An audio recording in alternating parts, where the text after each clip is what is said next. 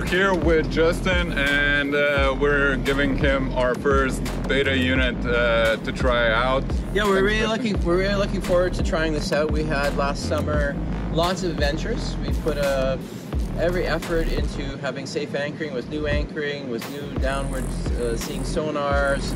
Uh, as I was saying earlier, we got a underwater drone to look at how our anchoring is going to So we'll be able to really assess how good this is. And so we're excited to, uh, to try it out and to be the first one.